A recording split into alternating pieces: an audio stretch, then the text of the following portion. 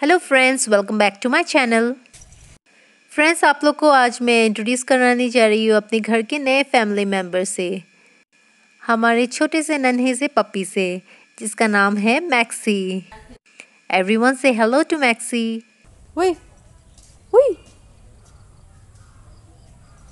maxi maxi